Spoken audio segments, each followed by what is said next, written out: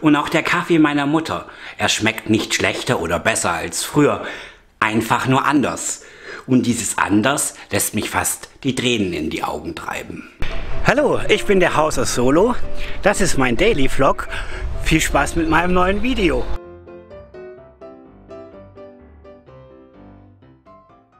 Hallo, heute ist wieder Vorlesetag, habe ich mir so überlegt. Und ich wollte euch heute eines meiner Lieblingsbücher vorstellen. Da habe ich ähm, damals auch schon eine Kritik dazu geschrieben auf meinem Blog.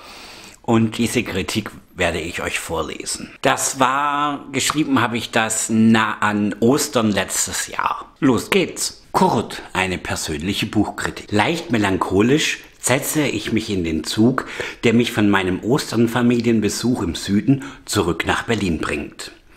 Dieser Besuch machte mir wieder einmal klar, dass wir alle älter werden und dass es nichts gibt, was immer so sein wird, wie es war, wie man es gewohnt war. Klar, meine Mutter kocht immer noch gut und mein Vater provoziert wie immer. Es mag wohl meine aktuelle Dünnhäutigkeit sein, die wahrscheinlich mit Stress auf Arbeit zu tun hat, die mich auf die Spitzen meines Vaters nicht so gelassen reagieren lässt wie sonst. Und auch der Kaffee meiner Mutter, er schmeckt nicht schlechter oder besser als früher, einfach nur anders. Und dieses anders lässt mich fast die Tränen in die Augen treiben. Jedenfalls am Bahnhof kaufte ich mir Kurt. Ein Buch, das ich schon lange lesen wollte und von dem ich wusste, dass es vielleicht nicht das beste Lesewerk für meine aktuelle Gefühlslage ist, aber manchmal, und bitte entschuldigt nun vielleicht meine krasse bildliche Wortwahl und das so kurz nach Ostern, muss der Nagel noch etwas tiefer gerammt werden. Es muss noch mehr schmerzen, als es ohnehin schon tut. Ich hatte Glück.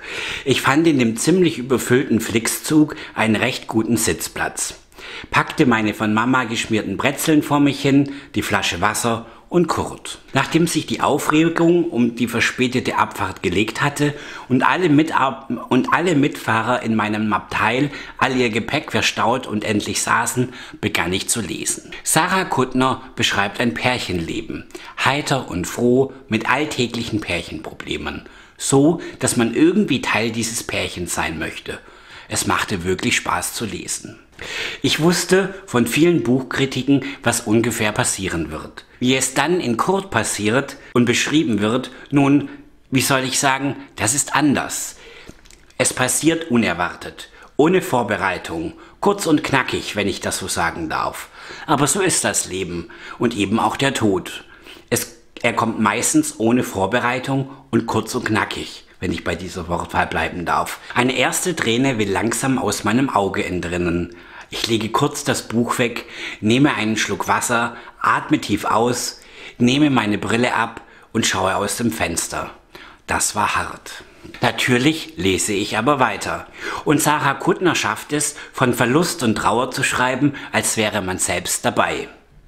Jede Reaktion, jede Aktion, jeder Satz, der von den Protagonisten von sich gegeben wird, ist absolut nachvollziehbar und erinnert an eigene Verluste und das tut weh. Mein Sitznachbar schaut lustige Videos und bekommt einen Lachanfall, während mir die Tränen kommen.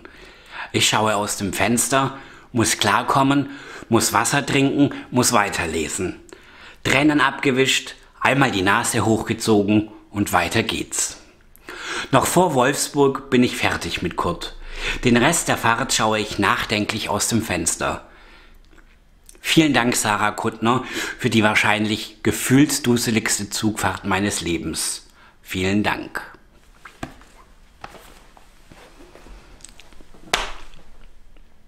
Denkt dran, wascht euch die Hände, putzt euch die Nase und denkt dran, es kommt anders, wenn man denkt. Ich wünsche euch was. Tschüss.